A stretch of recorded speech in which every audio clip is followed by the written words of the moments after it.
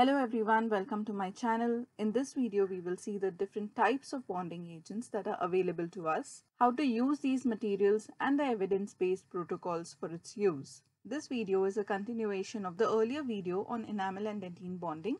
The previous one revolved around the fundamental mechanism of enamel and dentine bonding. The objective of this video is to summarize the current concepts of dental adhesion. With so many dentine adhesives in the market, we often get confused which one to use and what is the difference between them. Are the newer ones better? Can one single type be used for both direct as well as indirect restorations? Continue watching this video to answer all your doubts and queries regarding bonding agents. So let's get started. First, we'll begin with the classification. So there are bonding agents classified according to generations, which I'm sure most of you are aware of, from the first to eighth generation. However, the classification that I will be elaborating on is the one based on the type of application in the clinic, because that is a more practical classification. So this includes etch and rinse adhesives, self-etch adhesive, and universal adhesives. First, we shall discuss the etch and rinse adhesive systems. These are also called as total etch systems. The total etch adhesive systems were introduced in the early 1900s. Initially, when it was introduced, it involved essentially three steps. The first step was acid etching, second step was application of primer, and the third step involved application of the adhesive resin or the bonding agent. Elaborating on the steps further, in the first step, 37% phosphoric acid is applied to the enamel and dentine tissue simultaneously. And that is why it is called as a total etch technique. It is kept for a certain period of time for 15 to 30 seconds and then the acid is rinsed away from the tooth surface. This process removes the smear layer and the smear plugs on the enamel and dentine. Now, on the enamel, acid etching selectively dissolves the enamel rods, creating macro and micro porosities which are readily penetrated by bonding agents. So this works very well for the enamel and this micromechanical interlocking of resin tags on the acid etched enamel is the reason for the highest bond strength. But what happens to the dentine? As already mentioned, it is the total etch technique that we are following. So we are obviously applying etchant on the dentine as well. Here, acid etching causes dentine to demineralize and exposes the collagen fibrils that is totally depleted of hydroxyapatite. We also have to remember here that after application of the etchant, we rinse it off and dry the tooth surface, right? Now, if we over dry it, there is a tendency for these collagen fibers to completely collapse. And if it is over wet, again the bonding is compromised. So to overcome this compromised adhesion on the dentine, the second step involves application of a primer containing HEMA, that is 2-hydroxyethyl methacrylate, dissolved in organic solvents like acetone, ethanol or water. This primer improves the wettability and causes re-expansion of the collagen network, promoting penetration of the bonding agent more effectively.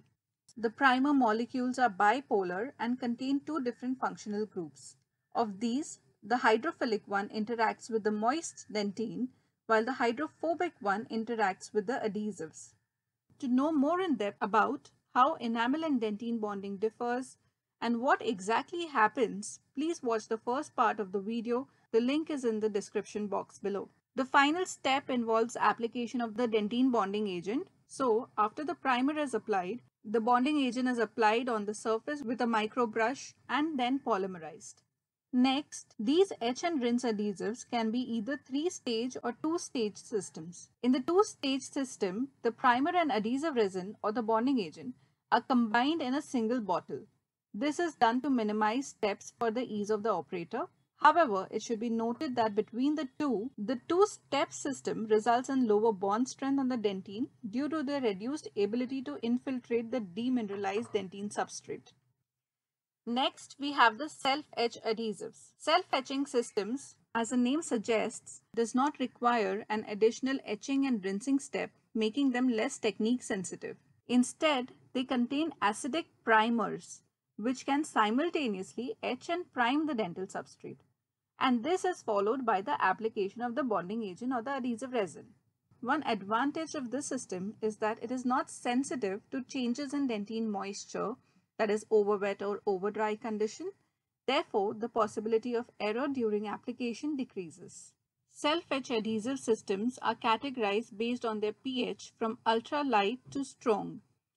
The working principle of these adhesives is based on not removing the smear layer but on modifying it. Because there is no separate etching step involved, they cause minimal dissolution of smear tags without eliminating the smear layer.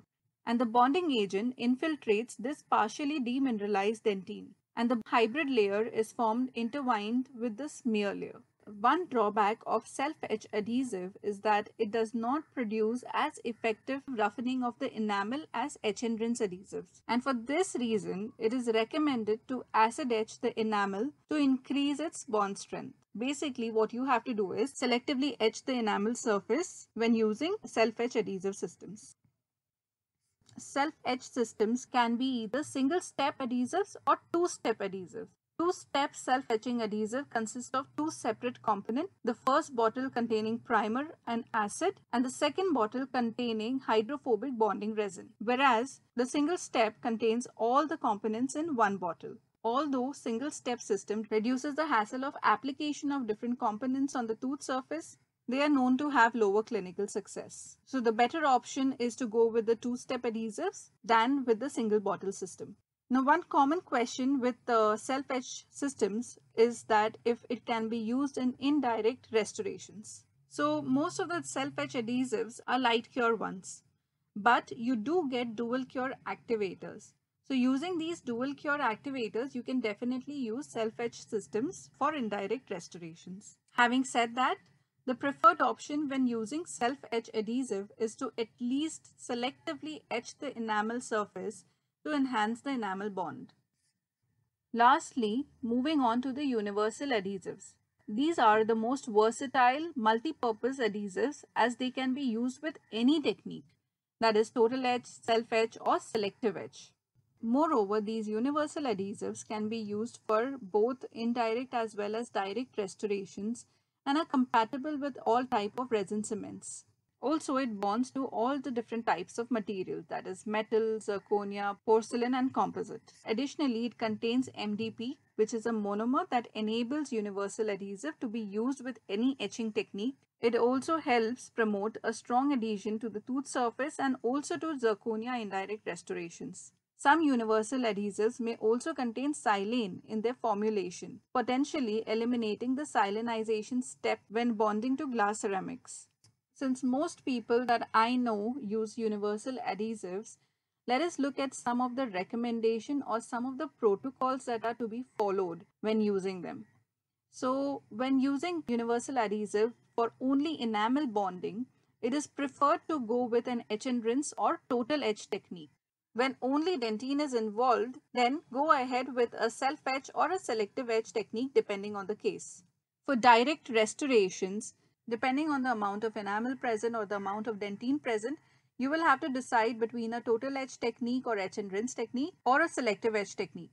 When it comes to indirect restorations, cases involving predominantly dentine, for example, crown preparations, it is better to go for a self-etch technique and cases involving predominantly enamel, for example veneers or diastema closures, you can go ahead with a total etch technique.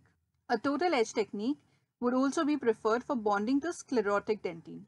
The next question that we will answer is that should a universal adhesive be used as a primer for glass-based ceramics? Now we've already discussed that a lot of universal adhesives have silane incorporated within the solution itself. So is it possible to use universal adhesive instead of a separate silane primer? The answer is no. Based on a lot of research, it has been observed that the bond strength of glass ceramics is not as great when using universal adhesives alone. So it is better to not substitute universal adhesives for a separate silane primer. One more commonly asked question is that should a universal adhesive be used as a primer when bonding to zirconia? Yes, it can be used as zirconia primer if it contains 10 MDP. Here I would recommend you to read the manufacturer's instructions as not all universal adhesives contain 10 MDP.